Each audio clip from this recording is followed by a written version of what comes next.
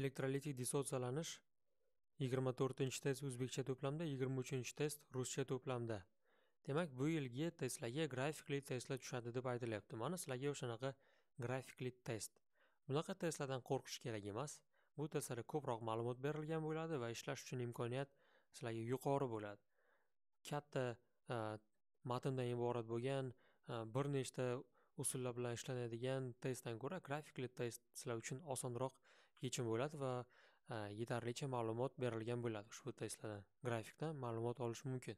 Bu yerda faqat e, qaysi chiziq qaysi moddaga tegishli ekanligi e, yozilmagan qolib ketgan bo'lsa kerak lekin buni osongina bilib olish mumkin. Chunki dastlabki konsentratsiya dastlabki mol dastlabki moddada bo'ladi ya'ni rux nitratda bo'ladi. Mana bu o'n mol dastlab bu rux nitratni rux nitratni demak moli.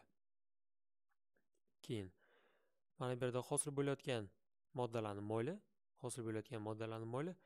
Endi hosil bo'layotgan moddalarga qarasak bu yerda demak e, kamroq mo'l hosil bo'lgani bu rux ioni bo'ladi rux ikki plyus ioni bo'ladi. Ko'proq mol hosil bo'lgan nitrat chunki nitrat ioni ko'rib turibmiz ikkita ruhdan ko'ra ko'proq o'sha uchun ikki barobar ko'proq moyni hosil qiladi. Ho'p demak mana bu yerda ko'rib turibmiz.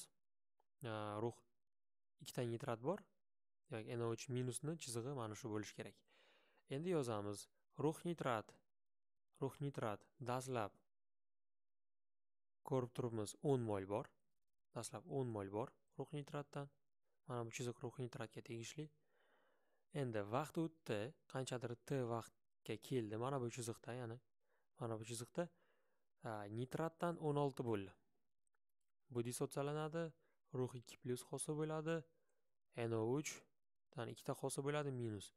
Agar bundan hosil bo'lsa o'n olti o'n olti. Bir mol ruh nitrat bir mol ruh nitrat bir mol ruhni hosil qiladi ikki mol nitratni hosil qiladi. o'n oltisi demak bu yerda sakkiz mol ruhni hosil qilgan bo'lishi kerak sakkiz mol o'zi dissotsiyalangan bo'lishi kerak. O'ndan ayirsam sakkizni ikki qolgan. Ikki dissotsiyalanmasdan qolgan. Bizga so'rab dissotsiyalanish darajasini toping. Sakkiz dissotsiyalash uchun demak dissotsiyalangani nechi foiz? o'n dissotsiyalash uchun olingani yuz foiz. Demak bu sakson foiz bo'lishi kerak. Sakson foiz.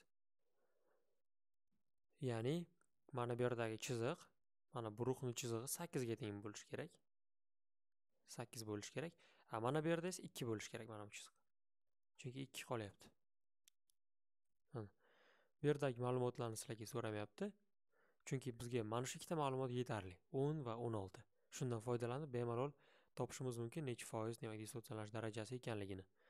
Bu yoqqa ham yozib qo'yaman. Demak rux nitrat bu. Rux nitrat.